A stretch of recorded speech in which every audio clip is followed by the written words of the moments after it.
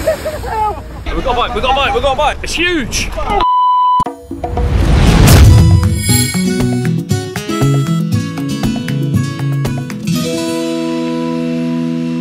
Buenos dias.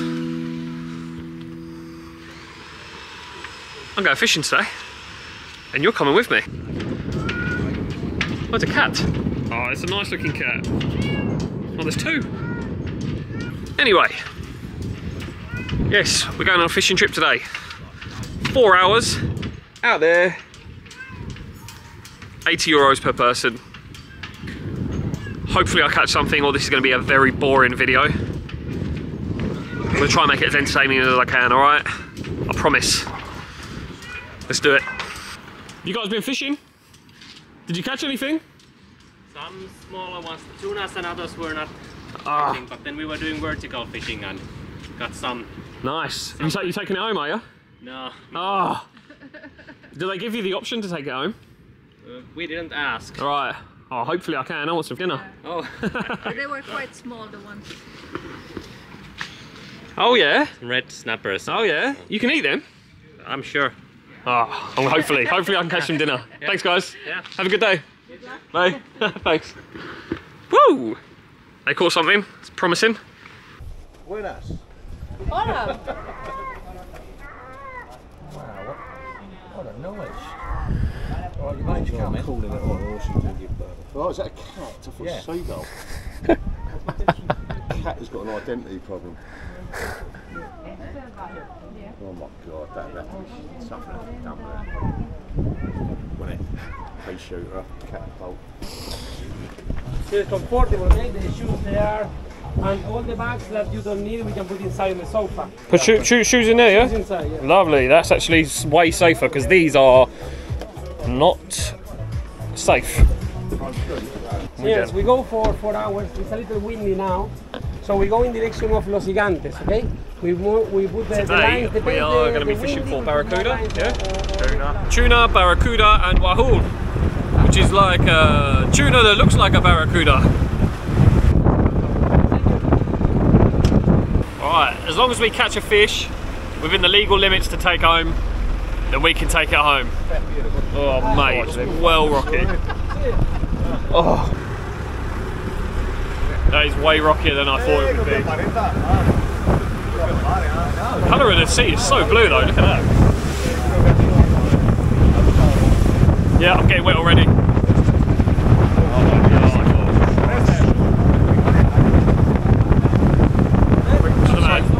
You can tell I'm not a fisherman. Move over, Phil. Move over.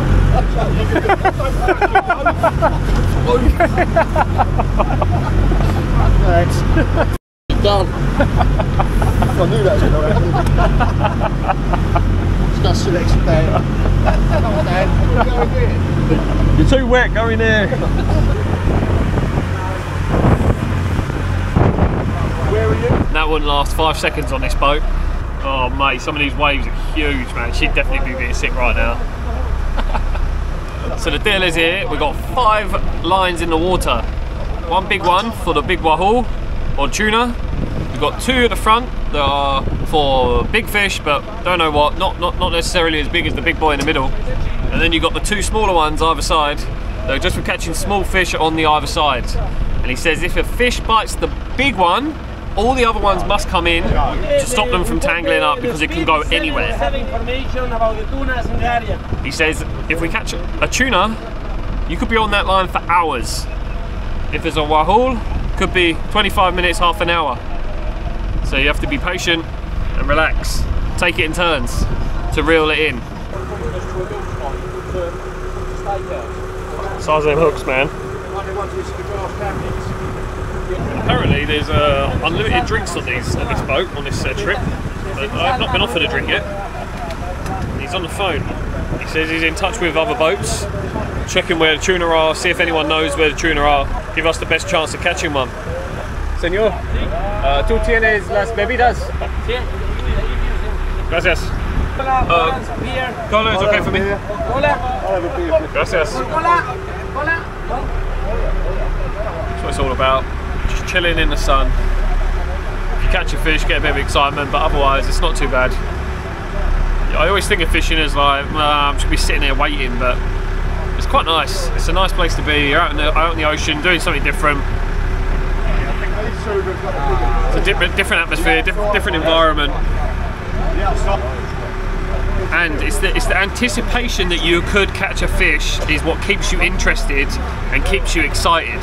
You're sitting here, and at any moment, a giant tuna could come along and grab that lure and take it off hundreds of meters, kilometers, however far they go. I don't know, probably a long way. That is why fishing is fun.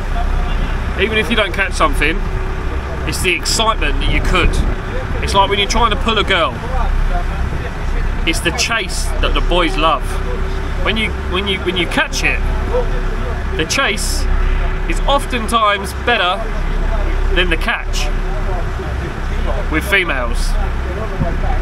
And that's what that's what fishing's all about. Alright, I've just been informed. There's a lot of activity over there. There's a lot of birds swooping down. Bait ball, that means predators. That means fish. That means we're gonna get some action. Are You gonna go around the front? Huh? You gonna go around the front? Well, you can. No, you said you were I'll gonna go around. Come then. Ask No, him. Ask this him side. when You've we got to go around that way. Why? That's what he said. Did he? Yeah.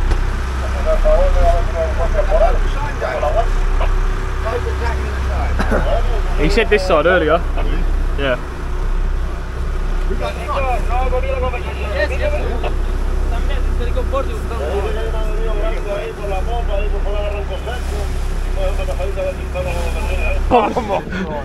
Walk straight over it. Mate. Yeah, but I've got a camera in my hand, man. That was difficult. I should have just turned the camera off. Can't see the fish they're on about. I can't see the fish they're on about. Where's the activity? I don't know. Oh, I can see the birds over there. Oh, right. Birds equals bait equals predators equals fish equals dinner. Yeah. Seagulls are the rats of the skies. If there's no food, there's no seagulls. We've got seagulls here. They only care about one thing food. Actually, a bit like me. That's a harsh realisation. Apparently there's a high chance of seeing dolphins and pilot whales on these tours. Bloody hell, it's a bit rocky here when he does that, isn't it? He turns into the waves. Oh, man. Oh, now. Mate, I feel, like, I feel like we can easily rock, oh, Help then. mate. There's a British band here. I've got to that. Jesus. Right, just stay here. Oh, Oh my god. mate, I'm actually coming off the boat. You'll be alright. Hold on to that strap. I'm holding on. Oh, god. I'm, I'm super scared. Hey, I don't want to go in. I wish I went at the front right now. Well, you ain't walking around anytime soon, mate. I definitely ain't walking around. I'm not like, letting go of this strap. Oh, you can easily roll off the side. Look at that. Ah, the camera overheated. We just got completely soaked.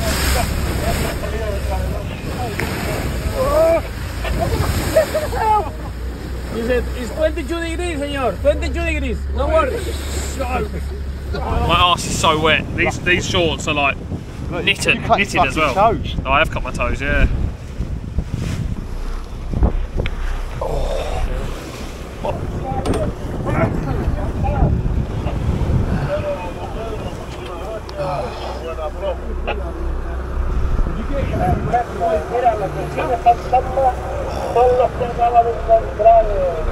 Oh mate, these waves are starting to get to me a little bit. Can't lie. I don't usually get seasick, but even looking at the boat earlier was making me feel a bit like wobbly. This is particularly bad. I'm focusing on the horizon. Natalia's going to absolutely love this when I tell her later. She is going to love it. The amount of times her awkward seasickness has meant we've had to take a longer route or missed out on certain opportunities or excursions. And I've always been a bit harsh on her about it, telling her to just man up, stop being so awkward. And here I am, staring at the horizon, waiting for it to all be over. If we catch a fish, all will be well. But it's been over two hours now. We've caught nothing. I think my, my expectations were so high when we saw those seagulls, the dirty flying rats, that I'm now I've been left with a huge void.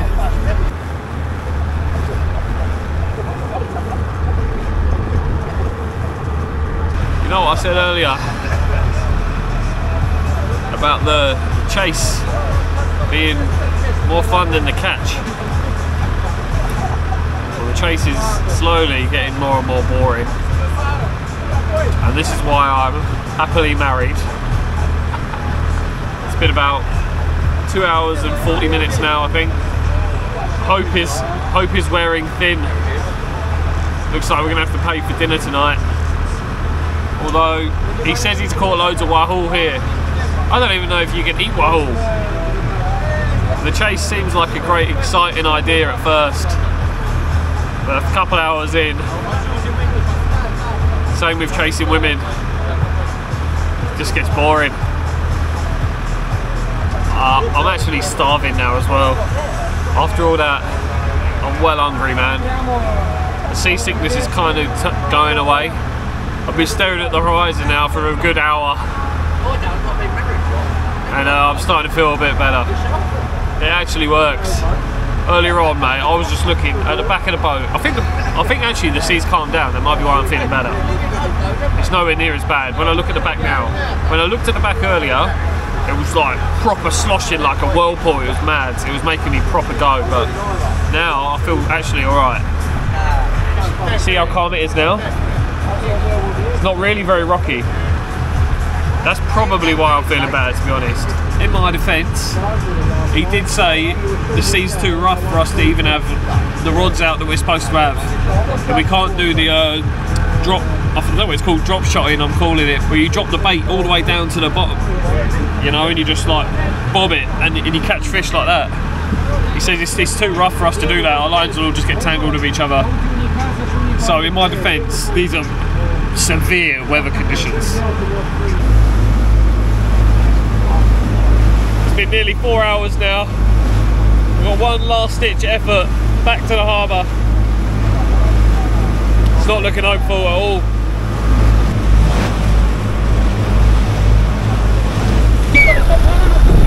We've got a bite, We've got a bite, We've got a bite. Fish on. Fish on, here we go. Come on, this is Reel, reel, reel the other lines. Hello, reel the other reel lines. the other lines. Reel the other lines. Señores, this one, this one, reel, reel. Real. Veloce, veloce. Eh, veloce, veloce, mezz'ora che dormi, Dio cazzo. Veloce, è mezz'ora che dormi. Dai, ragazzi. Su e giù, su e giù. Dun, dun, dun, dun, dun, dun, dun, dun. It's all action.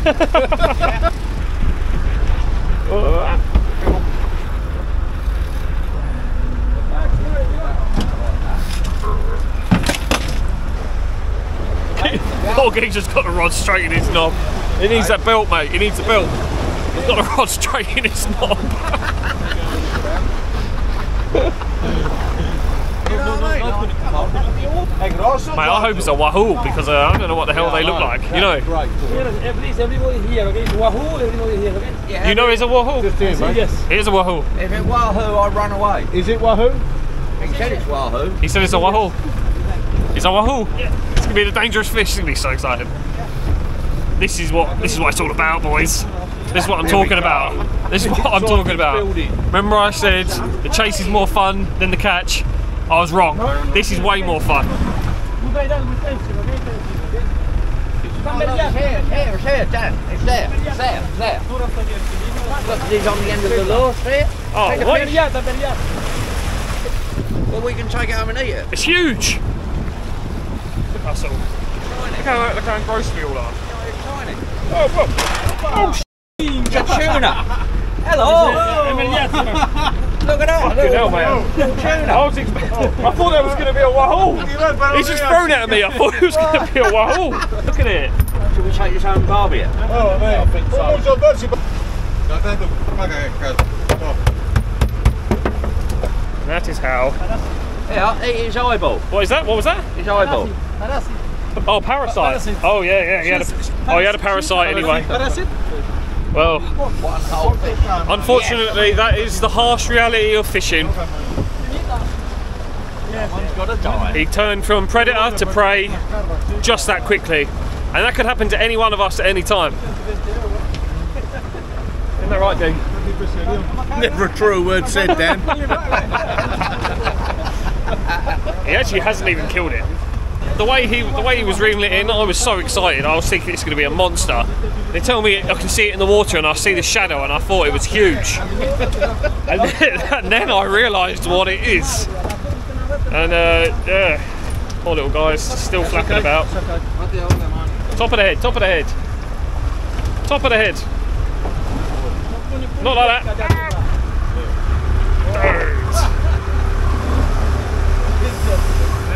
not a seaman, obviously. Wow, here we go. Life.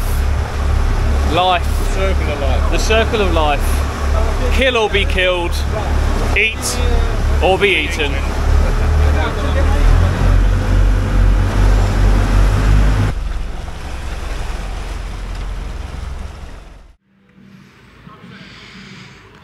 Was fun.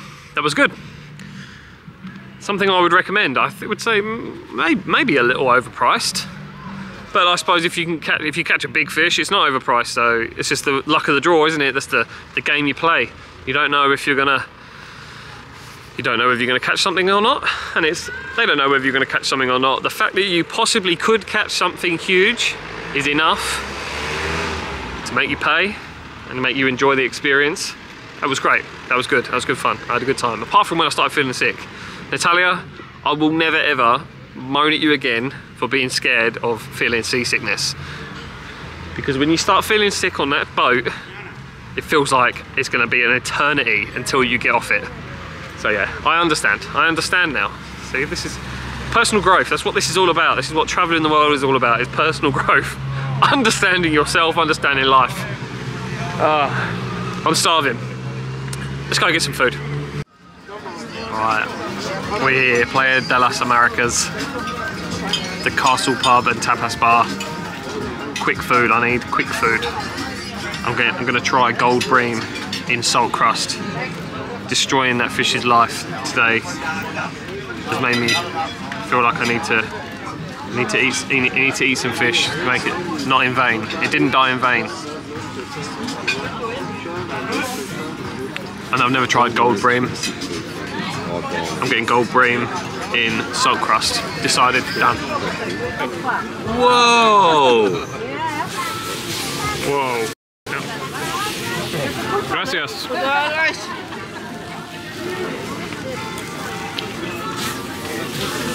Hola. No, barbecue. Barbecue. I don't even know what to do with it. Gold bream in salt. Yeah, I don't know what to do with it. I wasn't expecting him to set on fire. I um, need an instruction manual on how to eat it. Big one.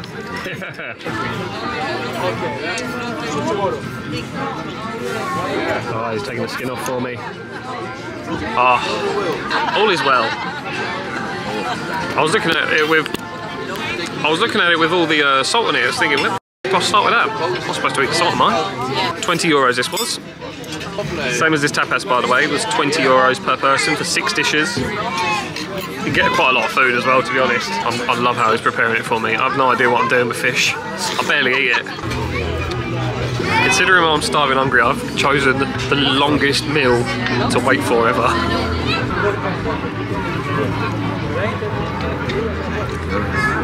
Well, that shrunk pretty quick. Gracias, senor. Alright, let's try it. Gold bream, let's go. It's nice. It's a bit fishy, but it's nice. It's like the, the texture of it's quite uh, grippy. It's not slimy. Do you know what I mean? Grippy? It's grippy. I don't know how to describe it any any other way.